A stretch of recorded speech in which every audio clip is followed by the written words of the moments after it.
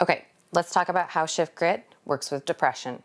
Now, depression comes in a whole bunch of different forms. We've got typical, atypical, and it's a spectrum. So there's a whole bunch of stuff. We can get really, really, really deep depression that's going to completely catastrophically just like level your life.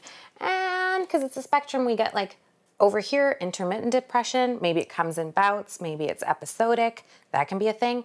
And then we get what is the precursor to depression, which is kind of just feeling like a blah, kind of you're just always kind of da da da da. There's this other thing called dysthymia, which is kind of a low grade depression that's just there all the time and it's there for a really long time.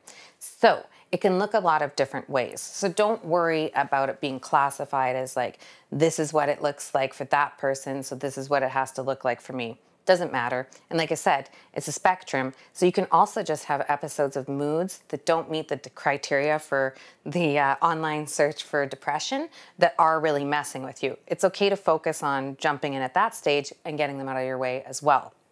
Now, when we're working with depression, we want to go and figure out what are the core beliefs that are causing this.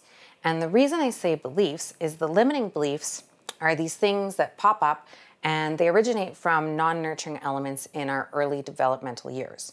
So, non nurturing elements, little things that mess with us, sometimes big things that mess with us. So, you can get your capital T trauma, so maybe some abuse or um, parental abandonment, big things that happened, domestic violence, all of that. But there's also kind of more subtle ones, harder to catch sometimes. Maybe it's favoritism of a sibling. Maybe it's something that was a parental divorce that really just disrupted your environment, created chaos for you as a child. All of these sorts of things will have effects on you and how you see the world. That's when they pop up into limiting beliefs, and that becomes a lens for the rest of your life. Now, that limiting belief might have been a thing at that time. So maybe in a parental divorce, you were really powerless, you know, a bunch of chaos going on, you couldn't solve it, you're a little person, etc. But if you keep that I'm powerless perspective, now we're going to have it creating some limiting factors in how you behave, what your emotional reactions are, and you know the things that pop into your head. So rather than seeing a situation at work where maybe it's a kind of argument with a coworker rather than being like, you know, I'm empowered, I can go talk to them, we can work it out, something positive can happen. We just automatically then step back and it's like, I'm powerless, I can't do anything about it. And the more powerless we feel, the less we act on our life to make it something we want. So the more that starts to slip away from our cognitive and what our goals and values and wants and desires are. So we see this divergence because the pattern theory is starting to run us.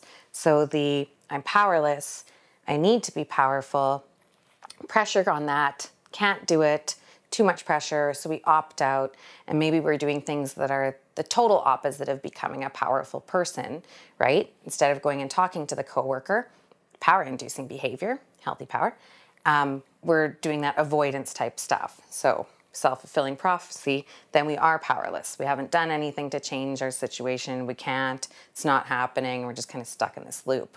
The more we have situations like that, the more our mood goes downhill. The more our mood goes downhill, it can get into the territory of extreme mood fluctuations. It can also start to go into the depression territory. The other thing that affects that is when we're not doing empowered behaviors because we believe that we can't or that we've tried and can't, and that limiting belief is driving us instead of our cognitive thinking mind.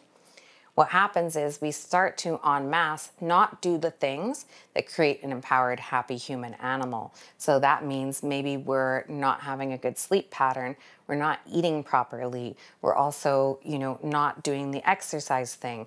So we start to amass a lifestyle that further impacts that depression because there's definitely a physical aspect and other chemical aspects that are impacted by that, which get worse and worse and worse. And then we find ourselves in a spiral.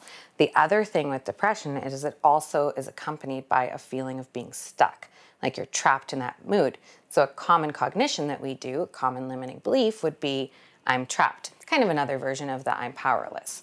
So, when you get a nice little cocktail of I'm not good enough, I'm a failure, I'm powerless, these cognitions all act together to create that opposite of the rose colored glasses lens And then we get that like loop into the rabbit hole of not the lifestyle we want.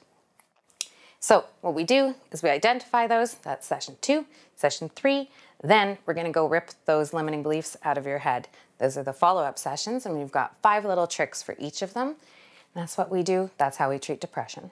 To wrangle your walnut brain, click Start Therapy below.